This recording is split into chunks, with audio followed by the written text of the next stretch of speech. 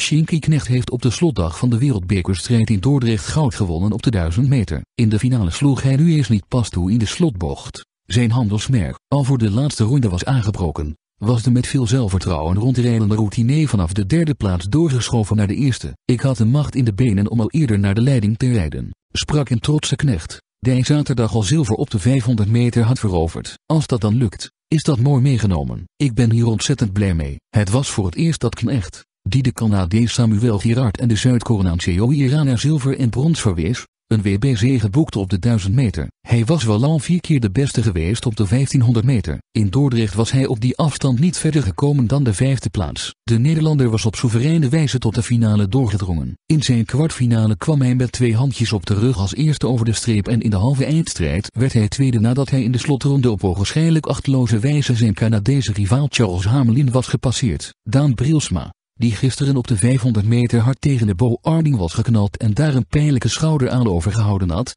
ging in zijn kwartfinale nog wel van start. Maar dat was vooral om wereldbekerpunten te kunnen bijschrijven en als test voor de finale van later op de dag. Zilver op Rilla. Voor die aflossing kwam Brilsma inderdaad opnieuw op het ijs, samen met Knecht. Itzhak de Laat en Dylan Hogerwerf. In een enerverend race trok Canada uiteindelijk aan het langste eind. Knecht slaagde er in de laatste ronde nog wel in een groot gat met de leidende formatie te dichten, maar er langskomen was zelfs voor hem te veel gevraagd. Hij kwam 0,076 tekort om Oranje aan de zevende WBC op dit nummer te helpen.